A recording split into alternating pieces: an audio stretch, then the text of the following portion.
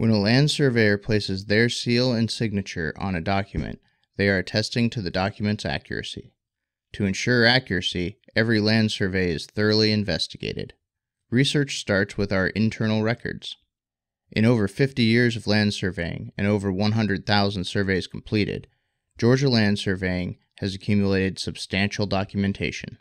We have over half a million records dating back to the late 1800s, so we can usually find information on any piece of land.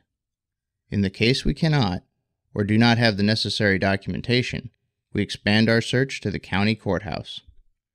When property is transferred, subdivided, combined, or otherwise modified, documentation is filed at the courthouse, leaving a history called the chain of title.